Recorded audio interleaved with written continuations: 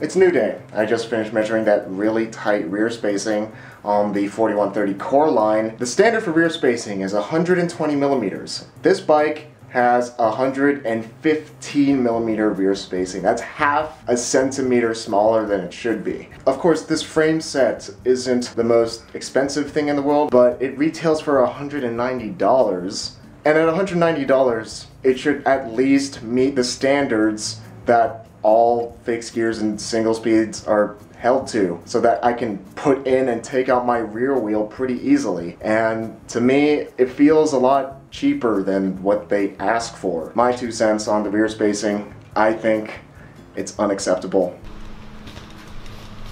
I am yanking on this thing super hard right now.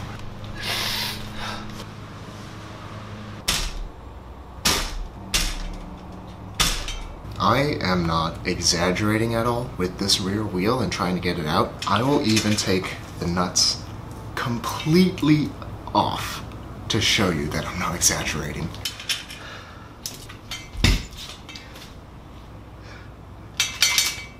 It's not budging at all.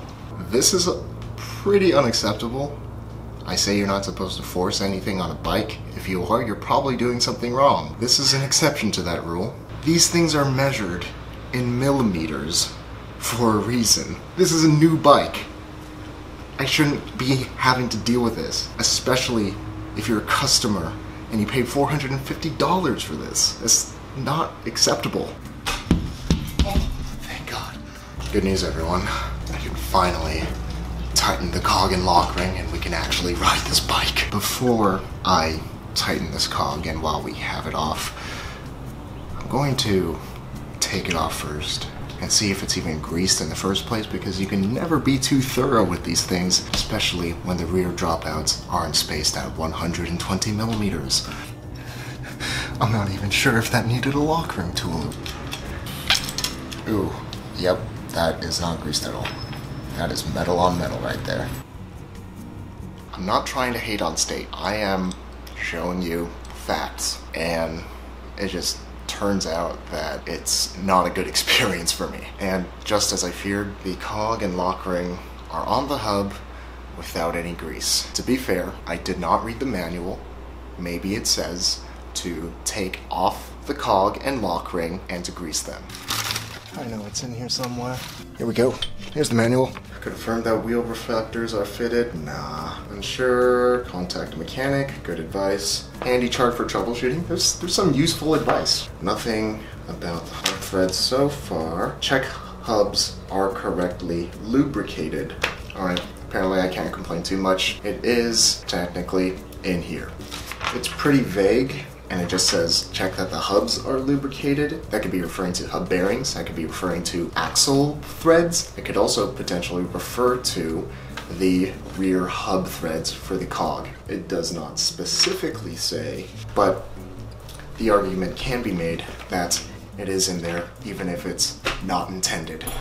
Back into the trash. This goes. Of course, I will measure this when I get the chance, but just eyeballing it, it looks like it's about a millimeter and a half to two millimeters too small for the rear spacing. So it should be fun trying to get this in. Ooh. Oh, that is wrong. Please, please. This is wrong.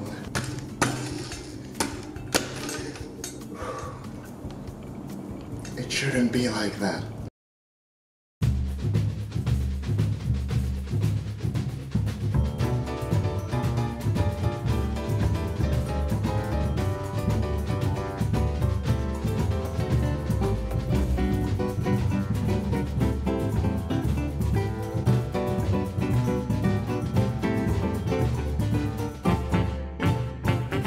Now for the million dollar question. We know that this bike looks good, but how does it ride? Now this is only my second ride with it, so these are just my first impressions. I have about 45 miles on it. For my first impression of the ride quality of this bike, fine it's it's fine. So far, I haven't really been able to tell how this bike's ride quality is different from bikes at the same price point. I've ridden a lot of these $450 bikes, and to be honest, a lot of them ride almost exactly the same. Now, I must say with the 4130 Core-Line that the steering was actually a lot more responsive and a lot twitchier than I was expecting from a bike at this price. It is very responsive to steering in the handlebars and you don't really have to lean into corners as much. And because of that, I feel like I can ride this bike pretty aggressively and take turns a lot more sharply. So that is something that is quite fun about this. And so far I have not experienced any problems with pedal strike. Now I spec this bike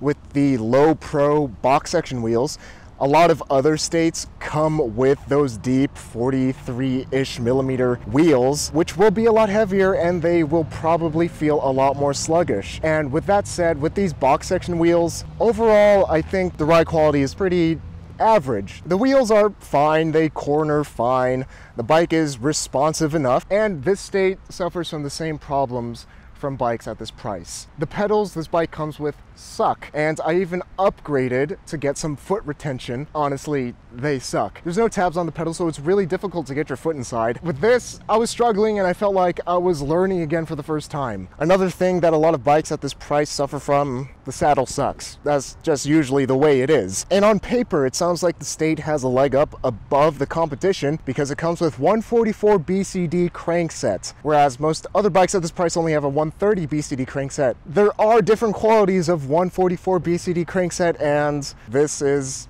the lowest quality that I've seen. Just because it's 144 BCD doesn't mean it's good. Rides only slightly better than the stock cranksets found on other bikes that are 130 BCD at this price point. When you sprint on these cranks, and maybe it has to do with the frame set as well, it just feels mushy. It feels like that the bike is fighting against you when you're trying to go fast, and it doesn't feel very responsive to sprinting. With all of this said, for a beginner, all of these things a beginner probably wouldn't notice. If this is your first fixed gear, you probably aren't going to notice what I call a mushy crankset. You probably aren't going to notice a mushy bottom bracket. And for a beginner at this price, it looks great and that's fine. A problem that I've had with this bike that I haven't had with this bike's competition is sizing. For some reason, it goes from 55 to 59 centimeters. And I'm a 57 to 58, and I'm just thinking, state, where's my size? Why is there no 57 centimeter size? It's really weird to me because they have two centimeter increments for their other bikes.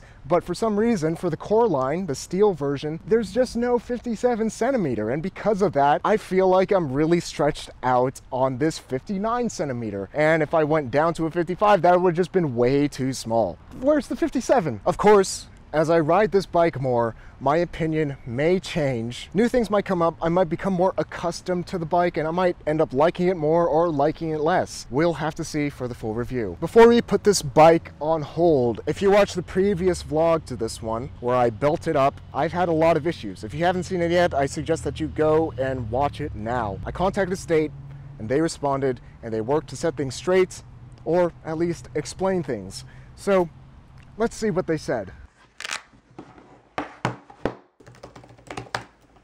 So I told State about all the issues that I had and they got back to me. The first issue I had was with the boxes that the bikes came in. There was no fragile labels, no this way up arrows, and no do not lay flat on its side. And because of that, I think that they were handled less than carefully during shipping, and my bike ended up getting damaged as a result. Basically, State said that this is their new box, the one with the faces and the stories of people riding. They did this because they thought that their old boxes were pretty plain, although their old boxes did include all the fragile labels and the instructions for how to handle the bikes. And aesthetically, the new boxes are nicer. Their reasoning was that when things look nicer, generally they're handled better. But they did admit that there can never be too many warnings on a bike to ensure that a customer gets their bike safe and sound. And they said that they are working to improve this. I also had issues with the inside of the box, that is to say, the packaging. I thought that there could have been more bubble wrap to protect the tubes of the bike and that the packaging that was there wasn't secured well enough. Because of that, I got scratches on the non-drive side crank arm and a small dent in the down tube. State said that they've had a few customers have dents in their top tubes earlier this year. And since then, they've created a solution at the production level to eliminate this problem. They also said that the shipping team in Arizona is going through every single box that they already have to ensure that they're packed up to standard. And because of this efforts, they said that they've seen less than one occurrence per month in the last five months, and that they expect these problems to drop off entirely in the coming months. And this isn't just something that they're saying. State actually showed me some drawings of exactly what they're doing with their boxes and their packaging. Unfortunately, those drawings are confidential and I can't show you. I also had a problem with my Coreline's paint. There were some bubbles and imperfections and in the dropouts and under the fork, you could see a blue tint to the paint. It was originally blue and they just sprayed on top of it. State said this is a rare occurrence and it would always result in a warranty for the customer. Probably the most frustrating thing for me was that my Coreline rear spacing was 115 millimeters, not 120 millimeters that fixed gears and single speeds are usually supposed to be. State responded, all of our core lines are spaced at 120 millimeters in the rear dropouts. If there's any variance, it must be due to an issue with transport. This answer seems kind of like a cop out. It doesn't really make a whole lot of sense to me because, as far as I know, State ships a lot of these core lines as completes. And if they're completes, the rear wheels that is spaced at 120 millimeters in the dropouts would be holding the dropouts and if there's any issue with transport, it wouldn't be able to squeeze down from 120 millimeters to 115 millimeters. Instead, I think that this is an issue with production. The frameset that I got just happens to be one that fell through the quality control system. The last issue I had was with the Black Label version 2. I didn't get this on camera, but I inspected the fork and the compression plug to see if everything was installed correctly. In short, it wasn't. The top cap was completely rounded out, and the compression plug was way over torqued and not greased at all. And again, State said that this is a very uncommon occurrence. They combed through all their customer service tickets and warranties, and they said that they did not find any occurrence of this issue. And to close things off, State says that at the end of the day, if a customer were to present these issues to us, we would 100% work with them quickly to resolve the issue through replacement parts or replacing the box. Let me know if you wish to receive a different bike, need replacement parts, or want to continue with the review. From my perspective, State has kept their word. They've been very responsive in getting me replacement parts. I asked for a new Coreline frame set, a new full carbon fork for the Black Label version 2, along with the compression plug and the threaded top cap. The same day I asked for them, they shipped it out, no questions asked. It is a little unfortunate that I had to go through this process in the first place. Sometimes these things do happen and I'll give State the benefit of the doubt, but State was very responsive, and they are doing everything that they can to make things right. My concern though is that I don't know if a regular customer will get the same kind of treatment that I'm getting because I have a direct line to the upper management. And part of me thinks that, that a regular customer would have to talk to a lot of people, representatives, customer service. I don't know how responsive they are to normal customers. But for me, it seems like they're doing everything that they can. If you have experience with state and their customer service, please do let me know in the comments below what your experience has been and if they're giving me any special treatment. So very shortly, the bikes will be in proper order. I'll be able to ride them and everything will be PG keen and we'll be able to get on with the review so I can tell you whether these state bikes are worth your hard earned money. And Fixie famous shoutouts to Mikey Sincox, Ozie Virto, Connor Carrigan, Albert Wu, Marek Dravecky, Robert Terpstra, Blue Tick Hound, DerElle01, Evil Ernie, Mark Vandeventer, and Jeziel for making these fixed gear videos possible through their support on Patreon. If you haven't ridden your bike yet today, stop watching me right now and go out and ride your bike because life is short, but don't make it shorter, so ride your bike every day to be reasonably dangerous.